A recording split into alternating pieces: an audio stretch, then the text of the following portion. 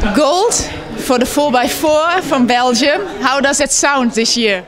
Uh, today really nice. It wasn't the case uh, a couple of days ago. Uh, on Wednesday, we we were not. I was not really happy. Kevin uh, was disappointed too after after the final. He got fourth, even though he, he didn't have. Uh, uh, any any any goals uh, before this uh, this championship. So we yeah we, we motivated again each other for for this uh, this final and uh, we we won. So it's amazing.